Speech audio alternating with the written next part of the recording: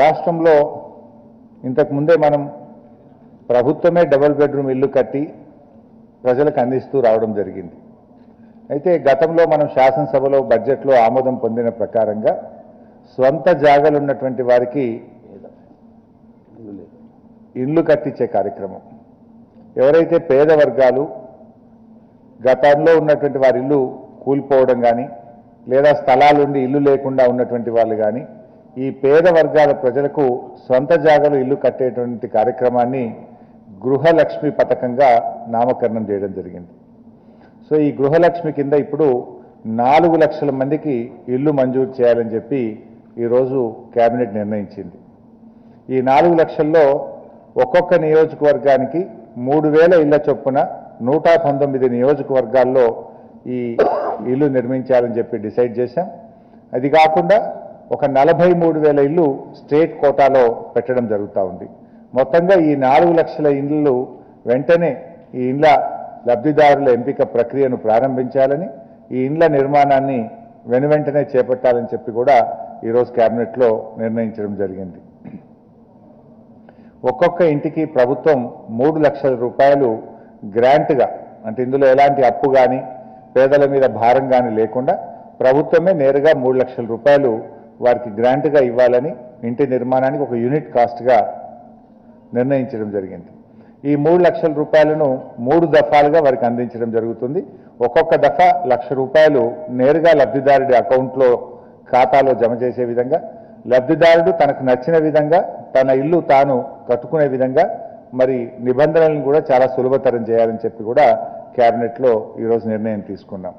So ఈ గృహలక్ష్మి పథకం కింద నాలుగు లక్షల ఇళ్ళను మంజూరు చేస్తూ ఒక గొప్ప నిర్ణయాన్ని ఇవాళ గౌరవ ముఖ్యమంత్రి గారు కేబినెట్ తీసుకోవడం జరిగింది. ఈ సందర్భంగా మేము ఈ పథకానికి పన్నెండు వేల కోట్ల రూపాయలు ఖర్చు అవుతాయని మనం అసెంబ్లీలో బడ్జెట్లో కూడా దీనికి పన్నెండు వేల కోట్ల రూపాయల నిధులు కూడా కేటాయించుకోవడం జరిగింది. ఈ పన్నెండు వేల కోట్లతోని మరి ఈ కార్యక్రమం చేపడతాం. అయితే మంజూరు చేసే ఇళ్ళన్నీ కూడా మహిళ పేరు మీదనే ఆ ఇల్లాలు పేరు మీదనే ఇల్లు మంజూరు చేయాలని చెప్పి కూడా ప్రభుత్వం నిర్ణయం తీసుకుంది. మరి గతంలో గత కాంగ్రెస్ ప్రభుత్వం తెలుగుదేశం ప్రభుత్వ హయాంలో ఏదైతే పేదలకు వాళ్ళు ఇచ్చిన నలభై వేలు అరవై వేలలో కూడా అప్పులు ఉన్నాయి ఆ అప్పులన్నీ కూడా మాఫీ చేస్తూ గతంలో ప్రభుత్వం నిర్ణయం తీసుకున్నది. దాన్ని కూడా ఈరోజు కేబినెట్ రాటిఫై చేసింది. దాదాపు నాలుగు వేల కోట్ల రూపాయలు పేద ప్రజల మీద అప్పులుండే.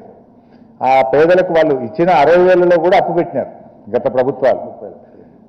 ముప్పై లక్షల ఇండ్లకు కొంతమంది కొన్ని ఇండ్లకు నలభై వేలు ఇచ్చిండ్రు కొన్ని అరవై వేలు ఇచ్చిండ్రు కొన్ని తొంభై వేలు ఇచ్చిండ్రు. ఇచ్చింది తొంభై వేలు అని చెప్పింది కానీ అందులో అప్పు వాళ్ళ మీద ఆ పేదల మీద అప్పు పెట్టినారు. బ్యాంకులు నోటీసులు ఇవ్వడం.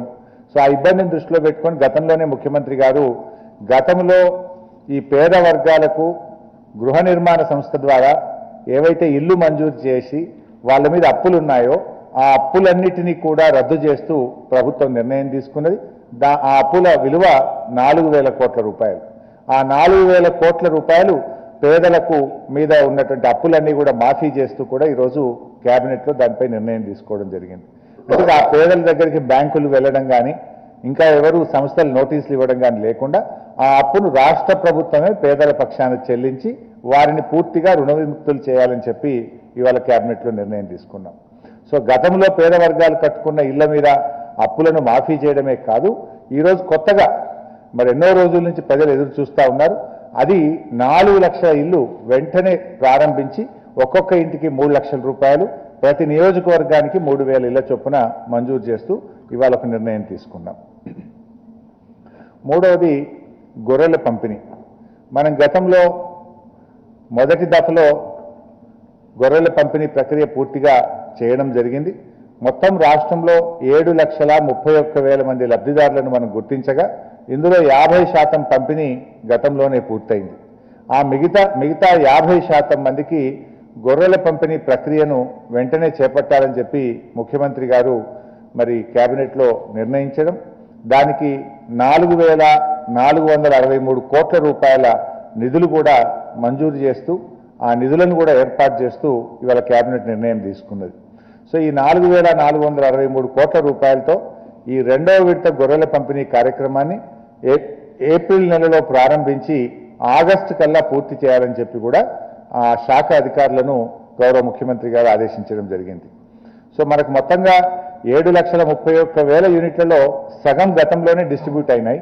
మిగతా సగం మందికి ఏప్రిల్ నుంచి ఆగస్టు నెలాఖరులోగా ఈ లబ్ధిదారులందరికీ కూడా గొర్రెల్ని పంపిణీ చేయాలని ఈ పంపిణీ ప్రక్రియ అంతా కూడా జిల్లా కలెక్టర్ల నేతృత్వంలో జరగాలని. ముఖ్యంగా రాష్ట్ర స్థాయిలో ఎనిమల్ హస్బెండరీ డిపార్ట్మెంట్ పూర్తిగా పర్యవేక్షిస్తూ జిల్లాల్లో దీని అమలు ప్రక్రియనంతా కూడా కలెక్టర్లు పర్యవేక్షించాలని ఇది పారదర్శకంగా మరి వేగవంతంగా జరగాలని చెప్పి కూడా కేబినెట్ అభిప్రాయపడ్డది.